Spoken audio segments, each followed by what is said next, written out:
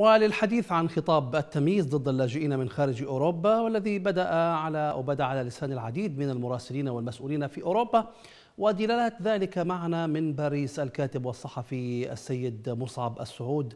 مرحبا بك معنا. مساء الخير جميعا. أسعد الله أوقاتكم. شكرا لقناتكم. حياكم الله. سيد مصعب حتى على الرغم من الأزمة فإن فيزا الدخول لدول أوروبا من أوكرانيا إلى دول أوروبا هو أن تكون أو أن تمتلك شعرا أشقر وعيون زرقاء. أما بقية الهاربين والمضطرين للخروج من أوكرانيا هربا بحياتهم وطلبا للنجاة فلا يسمح لهم بالدخول. ثم تأتي مجموعة من التصريحات سواء من سياسيين أو صحفيين ومثقفين كيف يمكن قراءة هذا المشهد الذي أظهرته هذه الأزمة؟ مساء الخير مرة أخرى. هو حقيقة يعني المشهد مؤلم لنا. نحن السوريون أكثر من غيرنا. طبعا نحن السوريون وبلاد المشرق العربي وبلاد أفريقيا لأننا, لأننا أكثر الشعوب المضطهدة في هذه الدنيا. من الدول التي تدعي بين قوسين علائم الحرية وترفع هذه الشعارات الرنانة.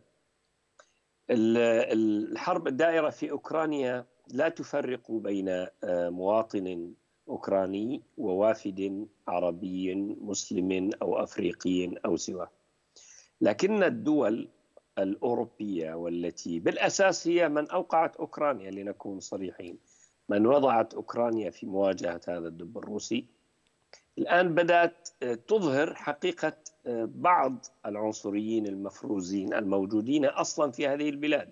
حتى لا نعمم ليست ليس كل البلاد عنصريون.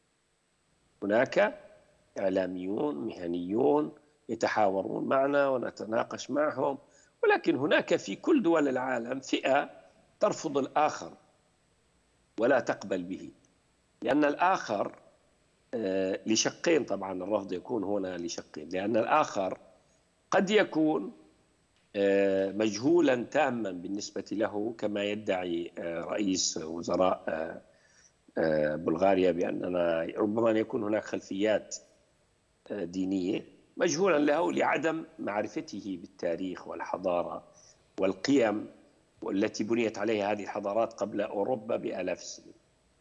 وهناك فريق آخر لديه هذه النزعة لأنه من فئة اليمين المتطرف والتي بالأساس ترفض أي وجود لغريب في هذه المنطقة الأوروبية. نعم. وهم قلة يعني ليسوا ليسوا ليس بأصوات كثيرة وهم قلة معروفون. وأصلا مضطه يعني يعني منبوذون في في أوروبا يعني. صدق. نعم. بناء على ذلك كيف يمكن تفسير ما يجري على الحدود مع بعض اللاجئين والفيديوهات التي تابعناها ورفضهم لدخول بعض اللاجئين ربما لأنهم يمتلكون جنسيات أخرى وإدخال الأوكرانيين من بوابات أخرى؟ في هذه النقطة لأن أوكرانيا المحيط الذي يحيط بأوكرانيا هي الدول التي تشهد هذه العنصرية المقيتة بعض الدول يعني التي تشهد هذه العنصرية المقيتة. ولكن لنكون منصفين عندما يعني قدم السوريون بأفواجهم المتعاقبة باللجوء وغير السوريين والعراقيين إلى أوروبا كان هناك بعض المحاولات العنصرية ونقلتها وكالات الأنباء الدولية كما يفعلون الآن. وعروا تلك الصحفيين والصح... والصحفيات والذين اضطروا إلى مغادرة مؤسساتهم. نعم. الآن هناك حالة عنصرية كبيرة ضد السوريين وضد الوافدين العرب والأفارقة. وهذه الحالة مرتبطة بمن يدير أو بمن مسؤول عن حماية الحدود الفونتيير بالفرنسية. بمن مسؤولين عن استقبال الأفواج. وهذا لا يمكن حتى للحكومات أن تفرض عليهم. يعني هناك نزعة. اليوم اليوم أنا يوم بقرأ وبشوف على ما يجري على الحدود أقول أنهم يتعاملون وفق العنصرية التي كانت مزروعة ووفق المعلومات التي وصلتهم عن بلادنا عن ثقافتنا. وهذا دليل أننا بحاجة للكثير من العمل نعم.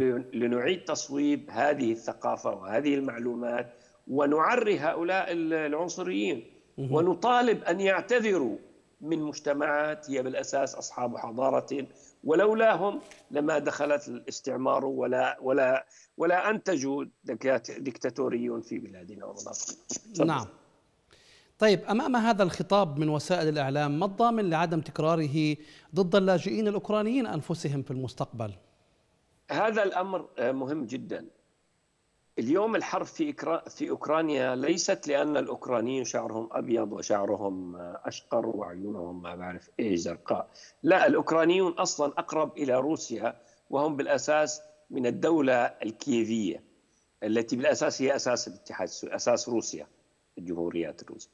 اذا الأوكرانيين أقرب لروسيا وليسوا أقرب إلى الأوروبيين. وكانت الغاية أن أن يبازروا على أوروبا على على روسيا بإدخال أوكرانيا. أما الحرب فروسيا أعلنتها منذ ثلاثة أشهر وأكثر ولم يت... ماذا فعل الأوروبيون والامريكان معهم؟ هم تركوا الأوكرانيون إلى مصيرهم، نعم. يعني هذه الأسلحة وغيرها لن توقف الدب الروسي، لذلك عندما عندما يصل الأمر إلى وصول اللاجئين الأوكرانيين إلى هذه البلاد الأوروبية بداية سيرحب بهم كما رحب بالسوريين وفي كل دول أوروبا في البداية. لكن بعد بعد فترة ستبدأ العنصرية المقيتة. ونحن نعلم هنا في أوروبا في هذه البلاد جميعا هم لا يقبلون أي وافد أيا كان حتى يحاربون أنفسهم. نعم. هذا كلام مهم أستاذ مصعب. يحيلنا للسؤال عن القيمة القيم الأوروبية أو القيم الأخلاقية الأوروبية التي بدت في كثير من المواقف والأزمات على المحك.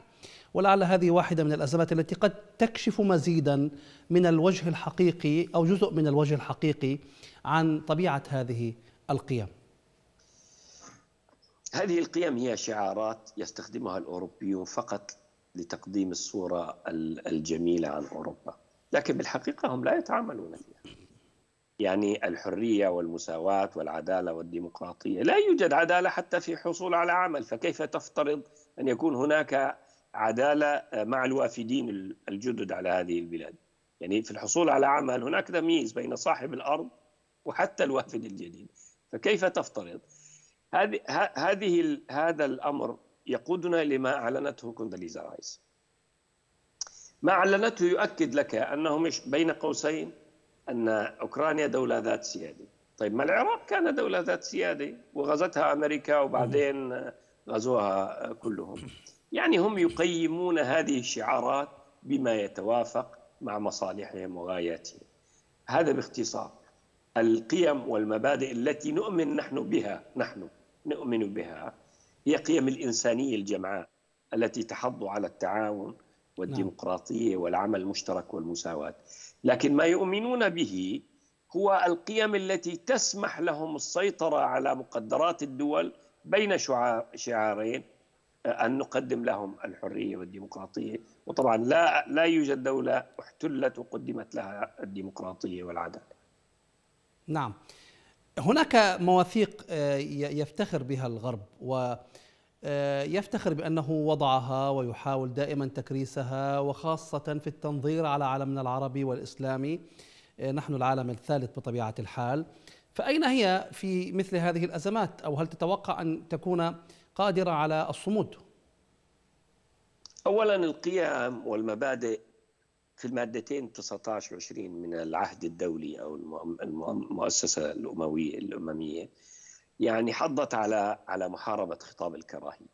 خطاب الكراهية خطاب المعتقدات، خطاب الدول، التقييم والتمييز تجاه الأقليات إلى آخر إلى آخر ذلك. وهو وهي وهو, وهو بند عريض جدا يدخل فيه الكثير. هل اليوم أوروبا تتعامل وفق هذا أوروبا بين قوسين كل أوروبا الديمقراطيه تتعامل وفق هذه المعطيات؟ يا أخي هناك مرشح للرئاسة يسب على المسلمين وهم يمثلون أكثر من 20% من من فرنسا. يعني لا يوجد لا يوجد لو كان هناك آه، مبادئ ملتزمة بها هذه الدول لا أوقفت رجل يترشح للرئاسة مثلا نعم. عند حده لحاكمته بخطاب الكراهية ضد مجموعة تمثل 20% من هذه البلاد. لا يعقل. الخطاب الكراهية هو خطاب نعود بين قوسين للتذكير. هي مواثيق دولية معروفة لدى الأمم المتحدة وكل دولة تبنتها ضمن آه، دساتيرها لكن تطبيقها تطبيقها يكون مرهونا بالسياسة التي تحكم هذه الدولة ووفق مقياس وهامش محدد نعم. الآن خطاب الكراهية الذي نسمعه من بعض الصحفيين يجب أن يكون هناك حملات توعوية من من القنوات والمؤسسات العربية نعم. والسورية نعم. وغيرها لمواجهة هذا الخطاب العنصري المقدس نعم. يجب أن نحاجج وندفع بالاعتذار علنا من بلاد لها أساس في الحضارة بنيت عليها هذه الحضارة الغربية التي يتغنون ويتشدقون بها. وقبل أن تنشأ هذه الدول أستاذ مصعب السعود أشكرك كاتب الصحفي من باريس. شكرا لكم شكرا تحياتي.